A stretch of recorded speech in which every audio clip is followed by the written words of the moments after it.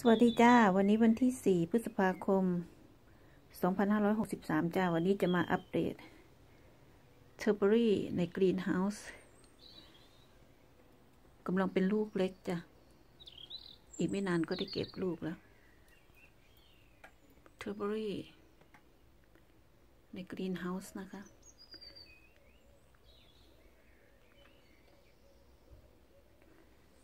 มีสองฝั่งใน greenhouse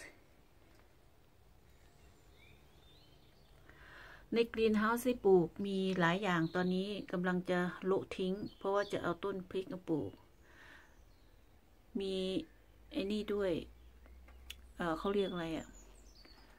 ทานตะวัน แก่นตะวัน แก่นตะวัน ปลูกอยู่ใน greenhouse เดี๋ยวจะพาไปดูข้างนอกนะคะ ข้างนอก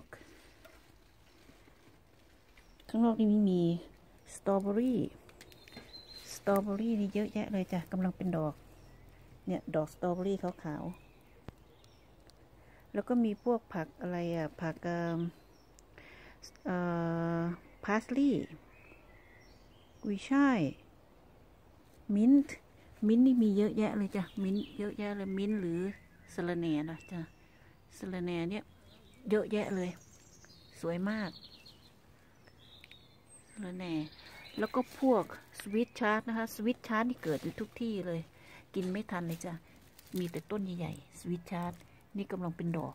เต็มเลยจ้ะ สวิตชาร์ตเต็มเลยจ้ะ ดูสิ สวิตชาร์ตมีเยอะมาก เดี๋ยวจะพาไปดูสตรอเบอรี่นะจ๊ะ